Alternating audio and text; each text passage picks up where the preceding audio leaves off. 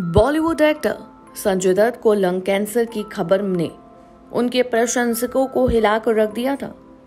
सभी उनके जल्द से जल्द सेहतमंद होने की कामना कर रहे थे। संजू बाबा के परिवार, करीबियों और उनके प्रशंसकों की दुआ कबूल हो गई, क्योंकि संजय दत्त ने कैंसर को महज दो महीने में मात दे दी है। बता दें, फेफड़ों के कैंसर से जूझ रहे एक्टर संजय दत्त ने इस जानलेवा बीमारी से जंग जीत ली। हालाँकि अभी इसकी आधिकारिक घोषणा नहीं की गई, लेकिन मीडिया ने संजय दत्त को बधाई और संदेश भेजा तो अभिनेता ने थैंक यू कहकर इसकी पुष्टि की है। बता दें 61 इयर्स के संजय दत्त को अचानक सांस लेने में तकलीफ़ होने के बाद 8 अगस्त को मुंबई के लीलावती हॉस्पिटल में भर्ती किया गया था।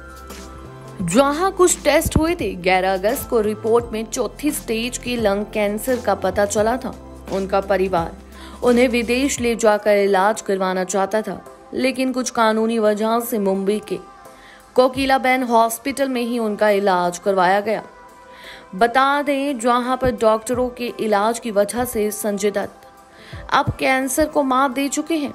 माना जा रहा है कि संजय दत्त की पत्नी मान्यता। जल्द ही संजू बाबा के ठीक होने की जानकारी उनके प्रशंसकों को सामने साझा कर रही है। वहीं संजय दत्त के दोस्त अजय अरोड़ा ने दी ये जानकारी हॉस्पिटल सूत्रों के अनुसार। सोमवार को संजय दत्त की प्रोजिट्रॉन एमिशन टोमोग्राफी रिपोर्ट आई, जिसमें वो कैंसर फ्री पाए गए। वहीं बता दें कि पाइटी स्कैन कैंसर की सबसे ऑथेटिक जाँच मानी जाती है। और उसमें पता चल जाता है कि पीड़ित की कैंसर सेल्स की क्या हालत है। पीटी स्कैन में ये भी पता चलता है कि कैंसर शरीर में कितना फैल चुका है। वहीं संजय दत्त के दोस्त अजय अरोड़ा ने एक टीवी से बातचीत में वो बिल्कुल ठीक हो गया है। मैं पहले दिन से जानता था कि सब ठीक होगा। इस जंग को जीतने के लिए उसने बहुत मेहनत की है।